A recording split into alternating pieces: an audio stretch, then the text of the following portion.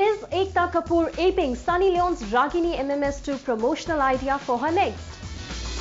Well, we hear that Ekta and his team have collaborated with MTV to initiate an Indian version of popular international reality show Punk'd. Punk'd is a show where pranks are planned on celebrities and the entire action is caught on hidden cameras planted to record the mischief.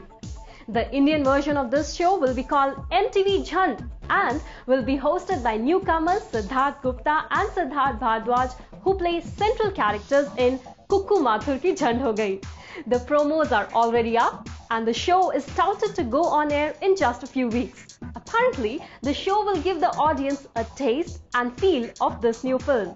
The Tele Queen lately has been experimenting a lot with her promotional campaigns. Last, they had a show on MTV called Haunted Weekends with Sunny Leone. Well, the show was made with an intention to promote Ragini MMS2.